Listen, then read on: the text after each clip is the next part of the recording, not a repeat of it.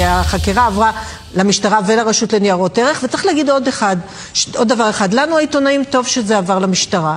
כי כל זמן שזה היה ברשות לניירות ערך לא ידענו שום דבר, בקושי ידענו מי נכנס ומי יצא שם, בטח לא קיבלנו ציטוטים, אבל טוב שזה במשטרה, כי עכשיו אנחנו יודעים. אם זה לא היה אירוניה שמתדפקת ונותנת לנו סטירה, היא אומרת, רינה מצליח, טוב שהחקירה עברה למשטרה, כל זמן שהיה ברשות לניירות ערך לא ידענו שום דבר, טוב שבמשטרה עכשיו אנחנו יודעים. עכשיו, זה שזה טוב שבמשטרה, כי כנראה אנחנו יודעים, כי באמת אה, פונקנו בכמויות פרטים אדירות על החשודים וכולי. אה, וגם עם ה... טוב, אבל בסדר.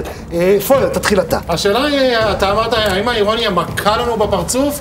אולי דווקא יותר מרפרפת, אתה יודע, כמו פרפר כזה, זה נעים.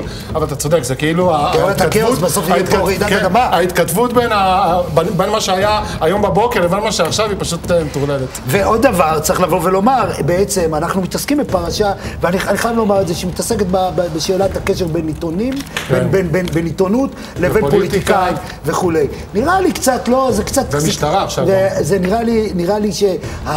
בוא נגיד, אין פה סובוציון ועקיפוע. בוא נדבר קצת שנייה על מנכ"ל וואלה, אילן כן, ישועה. ישועה. הבן אדם הוא לא אחד החלשים בעולם העיתונות, בן אדם הרוויח 20 עד 30 מיליון שקל בעשר שנים האחרונות. זאת אומרת, כל הדרישות שלו מאלוביץ', הוא לא היה חלש והוא היה חייב לדאוג לפרנסתו, נשאר למרות כל הדרישות, התעמר בעיתונאים, התעמר. בכתבים, התעמר. יודעים את זה בוואלה. פיטר אנשים, פיטר אנשים בידו. צווח עליהם. בצווח עליהם. כמו חפץ. ופתאום, חפץ וישועה, נכון, אותו- לא, אותו- לא, אותו, לא, אני מסכים, לא ופתאום- יגן. אותו אני אותו- האחרון ופתאום שיגן על חפץ. ישועה למגן התקשורת החופשית.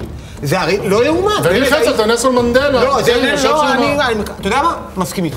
דנה ספקטור. טוב, הרי אני חייבת להגיד שבסופו של דבר התימהון המוחלט שלכם מכל מיני דברים מאוד שכיחים כמו הדלפות של המשטרה לעיתונאים, בסופו של דבר, אתם צריכים גם להסתכל מה יקרה בסוף. כי עם כל העניין שהמדינה רקובה עם תולעי עץ, וכל העניין שהכל רקוב מהיסוד, יש גם את השאלה של ראש הממשלה בסופו של דבר, וגם על זה תצטרך להסתכל. לא, לחלוטין, אבל אני, בסוף- לא, אני אגב לא חושב שכל המדינה רקובה, אני חושב שיש הרוב, בעיה... הרוב, בסדר, לא, אבל לא בסופו הרוב. של דבר עומד בסוף ראש ממשלה, ויהיה אולי כתב אישום. יכול להיות. מה תעשה עם אבל כל ההעבודה? יהיה- אם יהיה את כתב אישום, יהיה כתב אישום, דנה, אבל- השאלה הזאת כבר הופכת להיות צדדית. סליחה שאני אומר, אה, לא מעניין אותי. כבר, אני אגיד למה. הצד שלך מאוד לא, מעניין. כי יש כאן שאלה אחרת. אם אוקיי. אנחנו חיים במדינה דמוקרטית, באיזה מדינה אנחנו רוצים לחיות? אני קורא מתוך? נוהל זו השאלה. 4.1003, קווים מנחים לרשויות האכיפה בעניין פרסומים מהחקירות. כן, זה היועץ המשפטי לממשלה, זה לא איתמר בן זה, גביר. זה אלצ'ך שאמר שלא יהיו אצלו הדלפות. שים לב מה כתוב, מותר לפרסם מתוך החקירה את אה, זהותו של הגוף החוקר, את אולי שמו של הנחקר כאשר הוא מגיע לבית משפט, כוונה להביא אותו לדין וכן הלאה וכן הלאה, אבל אסור לפרסם הודעות או אמרות שנמסרו על ידי החשוד, כל מיני הקלטות, כל מיני תרשומות של חוקרים. עכשיו כל זה... אתה זורה לי חול בעיניים. מה זה זורה לך חול כן, בעיניים? חול בעיניים.